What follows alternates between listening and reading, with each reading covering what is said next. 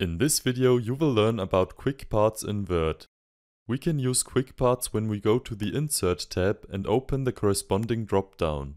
These tools can make our life easier when we want to reuse text snippets multiple times in our document. So first we are going to look at auto text. As you might know, when we enter SUND in Word, the program will automatically suggest to autocomplete the word Sunday by hitting the Enter key. This is an auto text snippet and we can simply create one ourselves. For that we just highlight the text that we want to save as an auto text snippet. That can be a single word or even whole paragraphs. Then we open the Quick Parts dropdown and there the Auto Text dropdown. At the bottom we have the option to store the selected text as an auto text snippet. Afterwards we just set a name and a description for the text snippet and then we can already save it.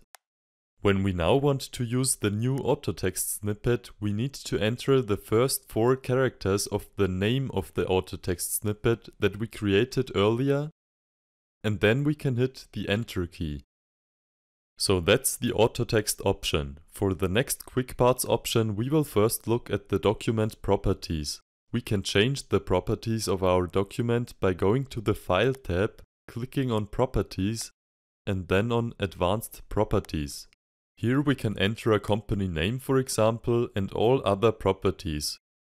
We can now insert these properties through the Quick Parts dropdown. So let's go back to the Insert tab, open the Quick Parts and then the Document Properties. As an example, I will insert the company name of the document. Of course, we can insert these tags multiple times. The cool thing about these tags is that if we edit one of them, then the other tags will change too. This is because the tags are directly connected to the document properties, so we can change the document properties through the File tab, as I showed you earlier, or through the tags, and the changes will be visible in both places. If we now want to delete the tags, we need to click on the three dots and simply hit the backspace key. And the last quick part we can insert is a field. Fields are somewhat like the property tags. We can for example insert the author of the document. Then we can additionally choose in which caps mode we want to insert the name. Let's go with all uppercase here. Now a very important difference compared to document property tags is that fields don't update automatically. To see that, let's change the author in the document properties. When we go back to the document, we need to update the field manually by right-clicking on it and selecting Update Field.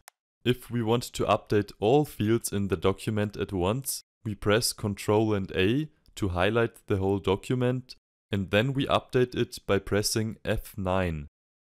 Another difference between the property tags and the fields is that fields only work in one way. What I mean with that is that we can change the document properties and these changes will affect the field as we saw earlier. But if we change the field, the changes will not affect the document properties. This means that fields are not intended to be changed manually. We should rather change their linked source and then update the fields. And that's it, now you know how to insert and use quick parts. Watch the other videos to learn more about Word.